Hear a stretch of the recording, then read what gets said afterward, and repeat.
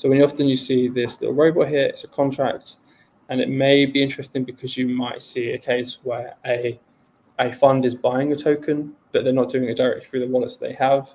Instead, what they do is they will use a market maker or a, a contract to make buys within certain prices within the market at specific time, a specific time frame, and in doing so, they get the price they want at the execution, and then they'll transfer the funds through a middle wallet and then move it to their funds, um, which can be really, really interesting. And sometimes you find some interesting stuff.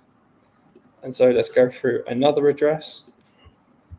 We can do this, but in the meantime, while I load this, I'm just trying to see if I can find an interesting address for you all to share. And in this case, I can actually. So, in terms of the whole finding addresses where you'll see a, a contract or something buying a token, we discovered this um, the other day and we haven't posted about it just yet. And the reason why we haven't posted about it just yet is because the address has 1.2 million in USDT and they've been actively buying this token uh, across, I think it's a bridge. And they've been actively buying. And if we go to their transactions, we can see da, da, da, that they, let's go to wallet profile for token. I think this is a better view of this. We can see if we click on the clock here, they buy, buy, buy, buy, and you can see when they're buying, and it's very, very frequently. So they're aggressively buying. And if we look at what they're, the prices they're buying at, it's clear that they're buying at a certain price, and if it hits above a price, then they are slowing down. But what's really interesting here is that we can see that there's been a volume out. Um, and so you might think that they are selling.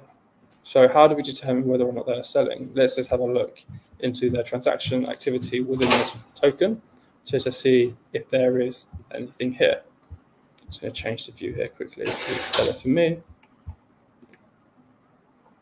And this is a really good way of how you can use on-chain data to discover really interesting alpha. And this is something we won't post on our socials because we are actively monitoring this address because I'm really interested to see where it goes. If you've got, if you're buying this token aggressively and then you are continuing to buy and you are moving funds out, maybe there's a fund here that is buying a token or building a position. It doesn't want people to know about this. And so what we can see here is that nine days ago, that this token here, this address, sorry, trading for implementation sent or withdrew, sorry, tokens to this address here, Top Circle Depositor. And we can see that they sent $500,000 worth of time, and it's now worth $800,000. And we see they withdrew 2 million tokens. So let's have a look into this address. And so you can see here it's not too actionable. If we go to the counterparties, so counterparties, again, if we go to the tooltip, shows you the list of addresses that the wallet or entity has interacted with in order of net flow. And we can see a wide range of addresses here. And so that doesn't really help us here in this situation because we know there's a few different addresses here, but we can't really identify who they are. But what we do want to follow is the token activity. So we'll go to this address here, we'll right click and go to wallet profile of the token. So we can see that they still have 16,000 in this address. But what about the rest of the tokens? Let's have a look. So we can see that they've still got the tokens here and they've got the price at 25 cents. And we can see that they received the tokens from the address that we just found. And they would also transfer a significant amount. So the two points, just over, just under 2.1 billion tokens to Variant. And so when we go here and look at the one year view, we can see the address has been pretty dormant up until the last month where they've been building this position in the token here we've highlighted.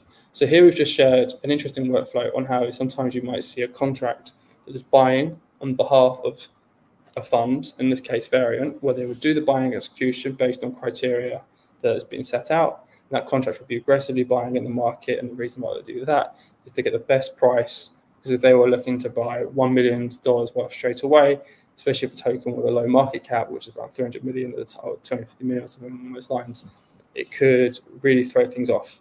So it's not going to be good. And plus, people will be seeing what they're doing in the market and they might want to copy. And the whole benefit of the fund using a contract or using an extra wallet to buy is so they don't get caught. So the benefits of using a fresh wallet you see here. And you can see Now they are holding this token here. And if we look at wallet profile of the token, so we right clicked on the token here, we can see that they're already up 56% on their holdings, which is really impressive to see. And it's also why they're still a smart fund. So that's just a small little tip and trick on how you can do some due diligence and how you can just track some addresses.